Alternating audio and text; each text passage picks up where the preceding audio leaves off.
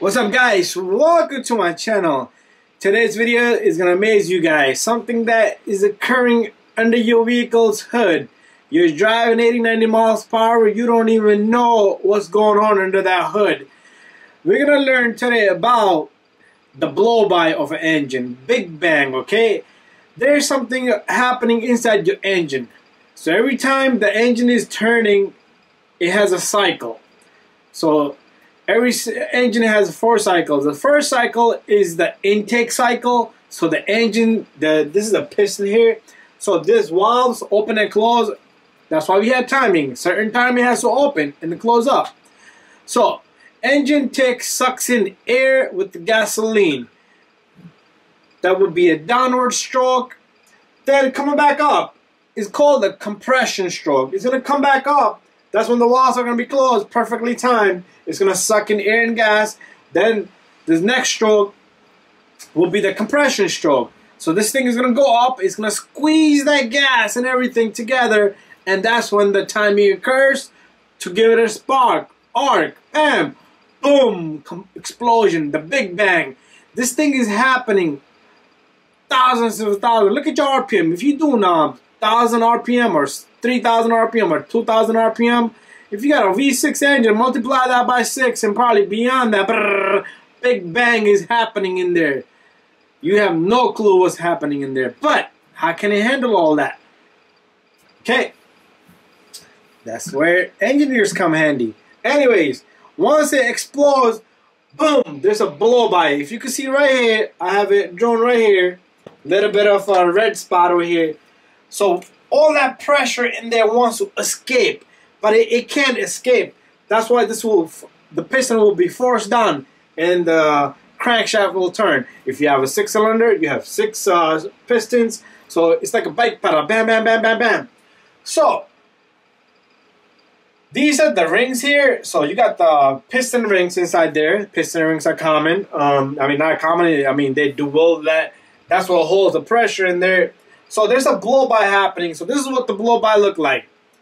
And the blow-by is happening and bam, there's a pressure build-up down here. So much pressure. We have no idea. Where is this pressure? You got oil over here. You have oil down here. Down oil over here. So all that cycling, all those uh, combustions, you have that blow-by. That's what's called a blow-by. How do you avoid that blow-by? You don't. You don't need to. There's no solution. There's no fix. Things will just blow up. Some of that pressure needs to escape. Probably uh, 1% out of the every uh, every combustion, maybe a half a percent escapes, which is normal. But if you have a six cylinder, eight cylinder, all that pressure, it's gonna balloon up in there. It's gonna blow up. It's gonna shoot out the oil and everything.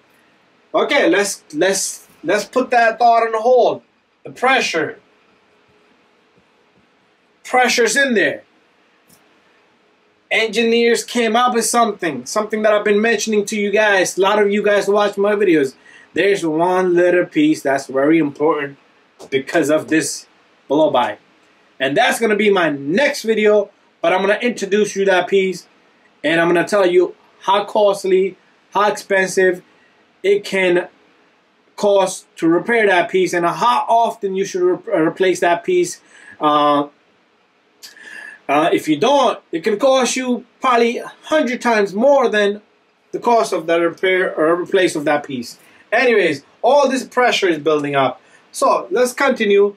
We we down to a power. This is the power stroke. So it goes up, explosion happens, the piston comes on, turns the crank. Now there's a there's all this burnt fume, smoke is in there. What happens? Let's say this is the intake, and uh, this is the exhaust. So what happens here, let me switch up my markers. Now it's gonna, this valve has to open according to the time and it's gonna shoot up all this black smoke through here. We're gonna have a big cloud here through the muffler. It's gonna go out the muffler. Enough said, what about this pressure? What is this pressure gonna do? It's gonna blow your seals. You're gonna have leaks here. It's gonna blow your seals. You're gonna have leaks here. How much can it take? Okay, there's other seals that are gonna fail. So that's the problem there. the blow by. Now you understood what blow by is. It's it's not. I don't even pay attention to this blow by thing, so it's not something that you would keep back back in your mind.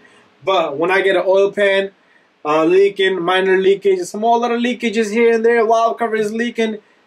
Okay, so this pressure needs to go somewhere. Where does it go?